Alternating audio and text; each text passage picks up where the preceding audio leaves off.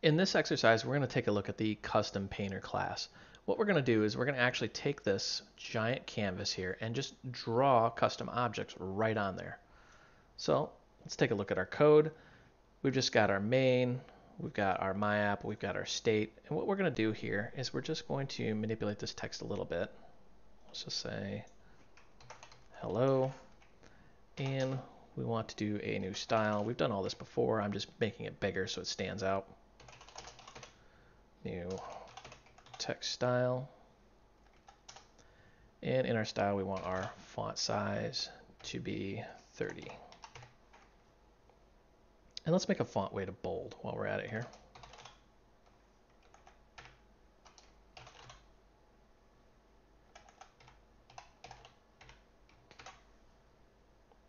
There we go.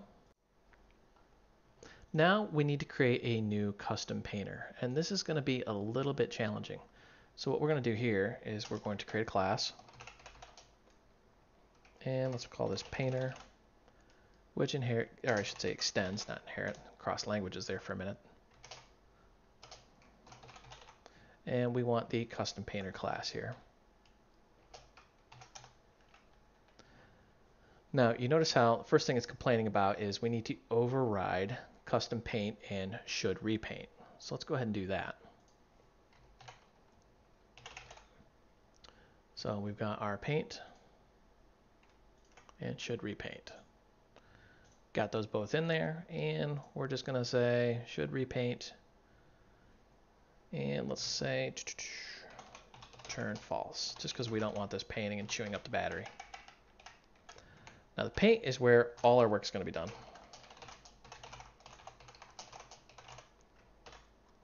So let's go back down here real quick.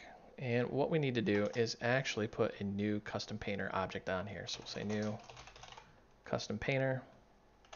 I should say custom paint, sorry.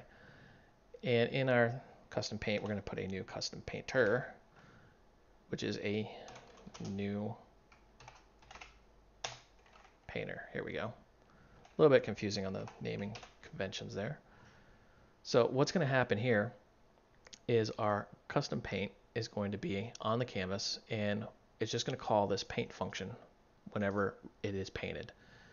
We don't have it repainting, which means we're not going to be chewing up the battery because repainting is going to go and check to see if it's dirty and then repaint it every time it changes. We're not doing any of that. So, so far we've got absolutely nothing, but what you're not seeing is there's now this invisible canvas right here that we can play with. And that's all going to be in this paint function. So let's go ahead and play around with this a little bit. We'll say,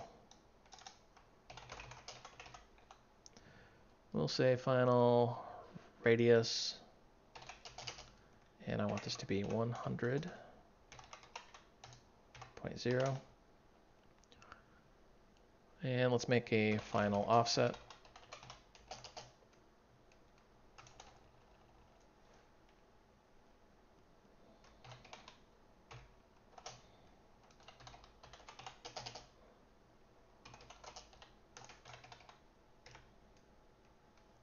And I want this to be 0 0.0 to 75.0.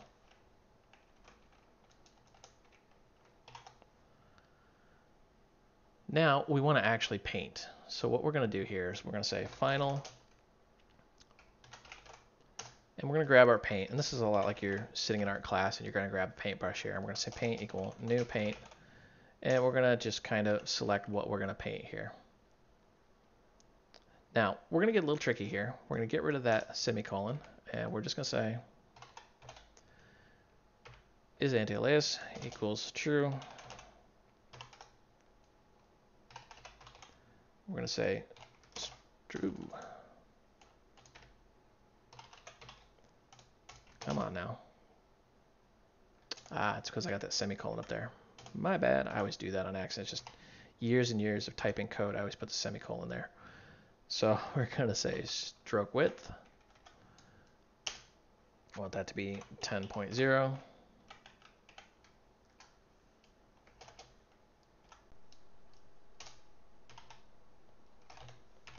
color is going to be colors dot blue and we want to shade that a little bit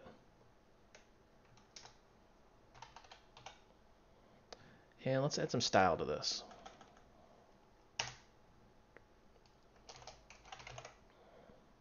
And we want painting style stroke.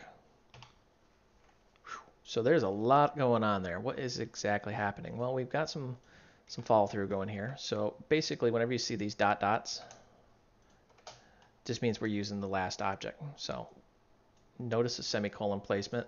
Very important. If you screw up like I did, you'll have all sorts of errors. So essentially, we've got a new paintbrush sitting here. We've got a radius, an offset. Uh, a radius is just going to be like the width of a circle, where an offset is like the xy coordinates from 0, 0 starting top of the screen. We're going to go down to 75. And then we've got our paintbrush here. Now, I'm going to make a few more offsets. Oops.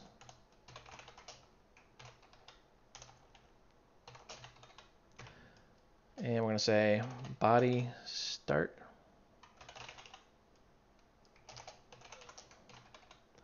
I want this to be a new offset. We're going to say 0, 0.0, and this is going to go to 50.0.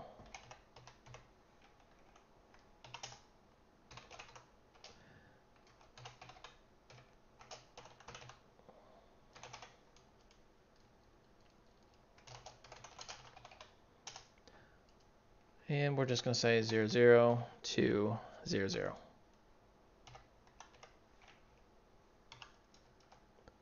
Now comes the actual fun part. So far, we've done absolutely nothing. If we just save and run that and we look at the emulator, absolutely nothing's happened.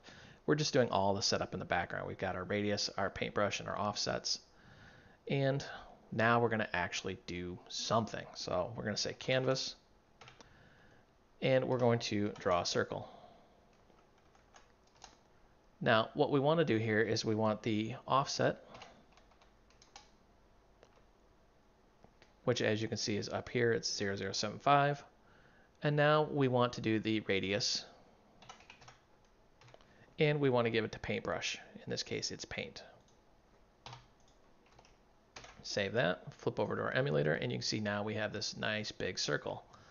So really what we've done is we've said grab the canvas, take the brush, and draw a circle using the radius and that specific paintbrush. Now let's draw a line, just because we want to.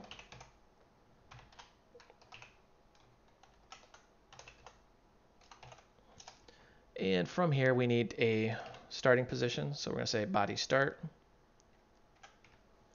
And we need an ending position. And we want body end in this case. And we're just going to use the same paintbrush. So everything's going to look exactly the way it was. And let's flip over here and you can see now we have this little line.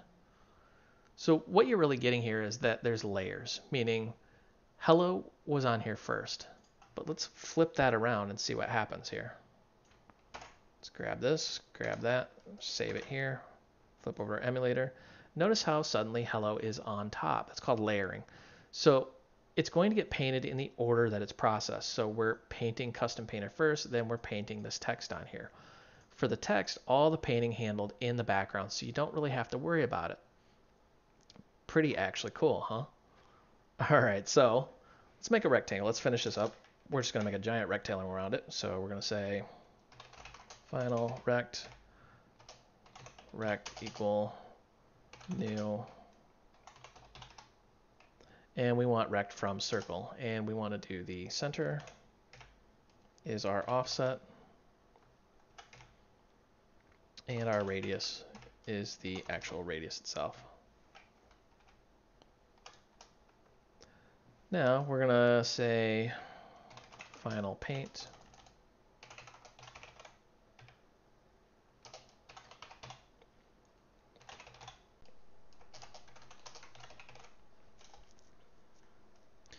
And we're just going to borrow some of this right here. That way we don't have to retype all of that. Now let's uh, let's change this up a little bit. Let's say colors dot orange, and we've got the stroke in there. So now what we're going to do here is just draw a rectangle. So we're going to draw rect. We've got our rect in there, and we want to switch that from paint to rect paint. We're just grabbing a different paintbrush here. And hot reloading took care of it, and bingo, we've got our nice rectangle around. And you can see how we've got our layering going on as well. So that is a good example of how to extend the custom painter object and actually work with it and how layering takes place inside of Flutter.